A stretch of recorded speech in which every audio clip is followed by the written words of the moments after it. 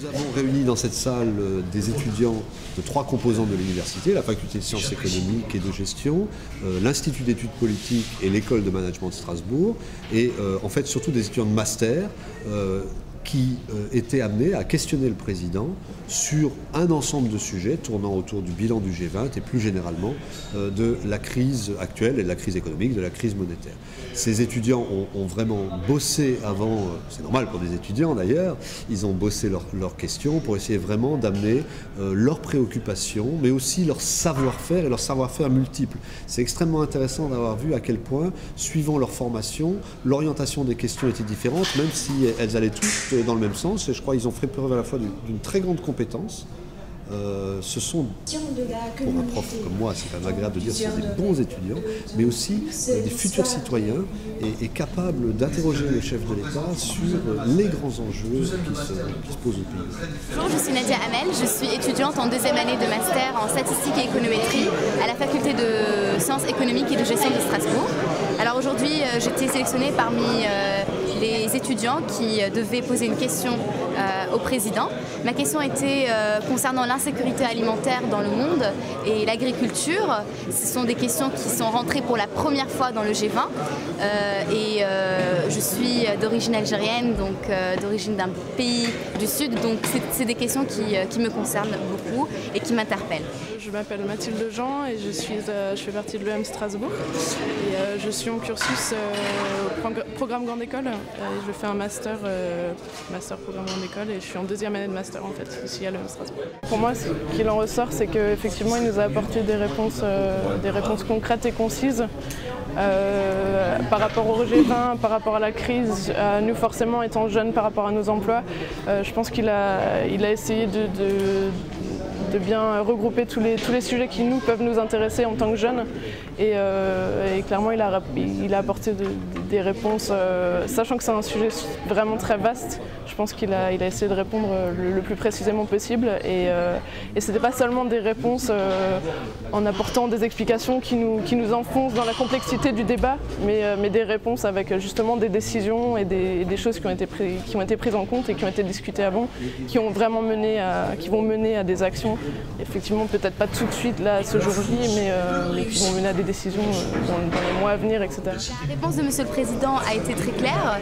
Euh, il a indiqué que finalement la volatilité des prix des produits agricoles était inadmissible et qu'il allait tout faire, que la France allait tout faire pour aller dans le sens des euh, des, populations les plus démunies, puisque, euh, euh, on l'a rappelé dans, la discussion, un milliard de personnes continuent aujourd'hui de vivre dans la famine avec 200 millions d'enfants, ce qui est bien entendu inacceptable.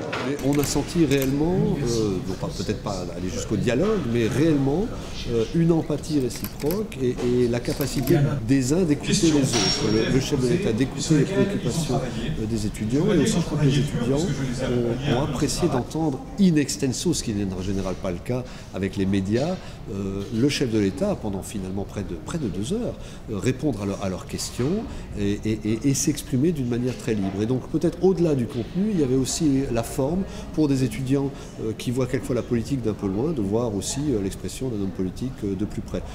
au-delà de ça, c'est pas un débat comme ça qui peut régler les questions, mais contribuer, je pense, aussi à montrer, encore une fois, que à l'université, on sait réfléchir, et on sait réfléchir pas seulement à des choses théoriques, mais aussi, je crois, euh, à ce qui euh, conditionne la vie de notre société. Pour nous, forcément, euh, c'est vraiment une considération. Je pense que moi, je me rends compte de la chance qu'on a de faire, partir de, faire partie d'écoles comme celle-ci qui nous offrent des opportunités pareilles.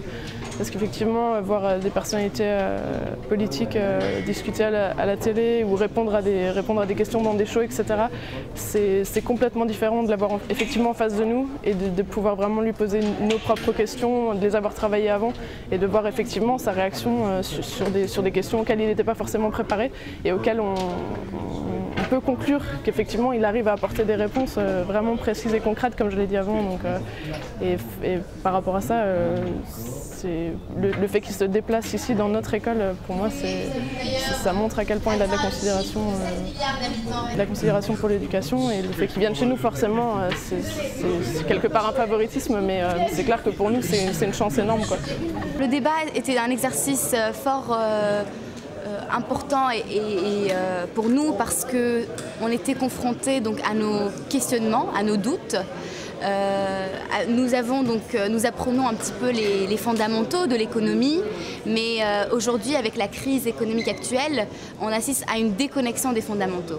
Et donc aujourd'hui, l'exercice a été très réussi et je suis très heureuse d'avoir participé à cet exercice, d'avoir le, chef de l'État en face de nous n'est pas quelque chose qu'on peut, qu'on peut avoir tous les jours, déjà dans un premier temps. Et dans un deuxième temps, pour nous, on nous a donné la parole.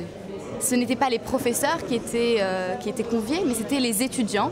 Et euh, je salue vraiment l'initiative de Monsieur le Président. Il me semble que le Président avait certainement le choix du lieu et de l'institution pour un débat sur la crise économique. Il a choisi l'université.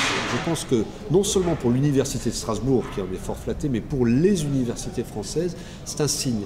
C'est un signe, en tout cas je l'interprète comme tel, que à l'université, dans ce qui s'appelle l'université avec un grand U, il y a les solutions ou certaines des solutions à la crise. Elles s'appellent formation, elle s'appelle recherche, elle s'appelle innovation, elle s'appelle aussi liberté académique, elle s'appelle ouverture, euh, accueil de l'étranger. C'est des choses qu'on pratique à l'université, qu'on pratique peut-être d'une manière différente ou, même pas du tout dans d'autres cercles. Donc je crois que euh, si je voulais retenir l'élément le plus positif, c'est ce signal donné disant je viens à l'université parler de la crise, c'est que l'université a un rôle fondamental dans notre société et pour l'avenir de notre société.